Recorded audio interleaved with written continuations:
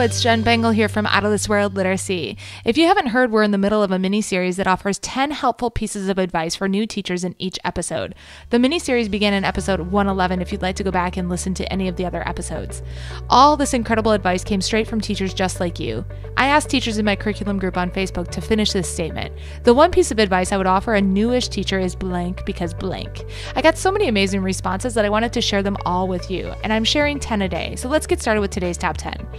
Christine shares, breathe and stay focused even when you feel overwhelmed. It really does get easier every year. Great advice, Christine. Brenda says, don't buy everything because you won't need everything you think that you need. So resist that temptation to go buying all the things for your classroom. Debbie says, My best advice would be to set reasonable goals to accomplish. The to do list is never ending, so prioritize what you have on your list. Malia says, My best advice is to set a time to leave each night and don't take things home every night because you need time for yourself.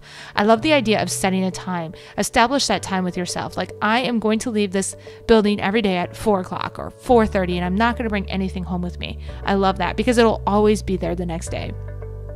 Vanessa says make friends with the secretaries and the janitors because they can help you just as much as a teacher mentor. And I actually would argue they may even be able to help you slightly more. I mean, my secretaries and and janitors in my buildings, the custodians, like I made friends with them right away and it became key in everyday day-to-day life, things that I needed. They were willing to help me more because I was nice to them and I valued them.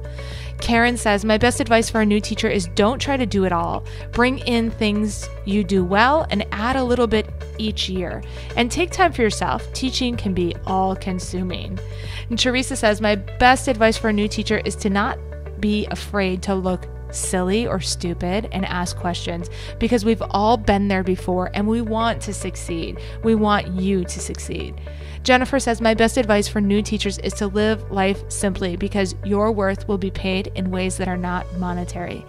And Kelly says, My best advice for a new teacher is to lay out what you need for the following day because it helps the mornings to start off well. Love that. Cece says, my best advice for a newest teacher is to connect with a positive group of teachers at school and ask them for help, advice, and their experience because these teachers will be just as excited as you are to make a difference and you will be inspired and inspiring to them.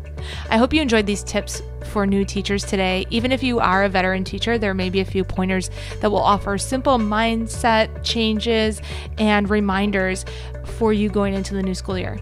It's been my pleasure chatting with you today. Know that I am the biggest fan of the work that you and your students are doing in the classroom. If you'd like more teaching tips, you can check out outofthisworldliteracy.com. If you'd like to attend a free live webinar training on literacy instruction and receive a certificate of participation, you can visit jenbengelwebinars.com. Until next time, you've got this.